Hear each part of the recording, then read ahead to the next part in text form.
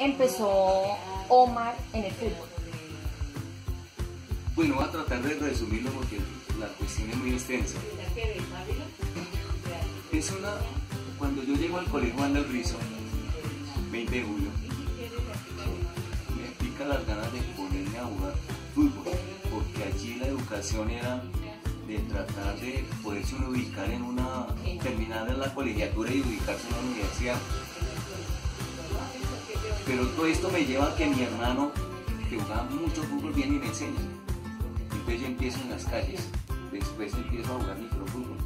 Es cuando el señor Jaime Arroyaga Rendón me ve jugando un partido de la selección distrito a la cual pertenecía en, el Coliseo del Salida y me hace una invitación en por qué voy a Millonario. Yo voy cuando termine mi colegiatura. Obviamente la terminé, fui, no me recibieron, no me recibieron, no, dijeron usted no está.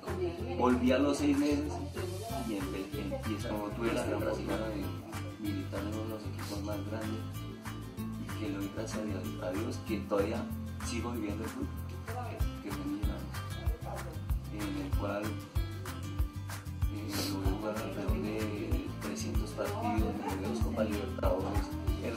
en la mejor época del fútbol colombiano que fue para mí de, de los años 90, cuando estaba el Pío Valderrama, estaba Rincón, La Gambeta, el.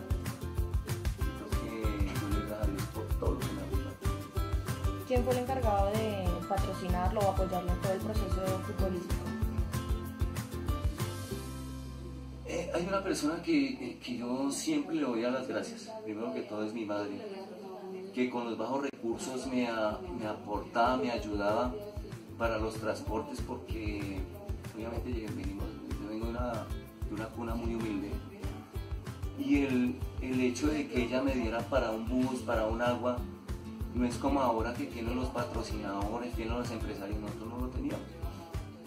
Mi madre fue una de las precursoras y después tengo en encuentro una persona que se llama Jaime Humberto Pérez de la Liga de Fútbol de Bogotá, que viene y me aporta también sus conocimientos y también la parte económica. ¿Cuál fue su mejor partido? Yo creo que uno de los que me marcó fue el partido en el año 89, el 29 de mayo. Y otro partido que, que me acuerde fue Millonarios Nacional en, en el Atanasio, en Medellín.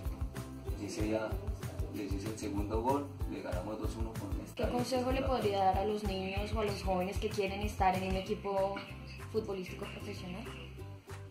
Primero yo les voy a decir, el jugador de fútbol actualmente cree que son Messi y Ronaldo que van a triunfar. Y ellos se quedan en esas metas. Pero para mí el estudio es primordial. No es que le tenga fobia con algo que a mí me está dando.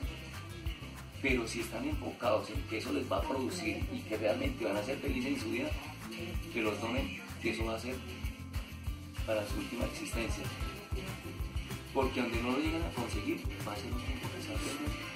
Entonces es muy importante que ellos consigan sus metas, pero primordialmente para mí, estudien.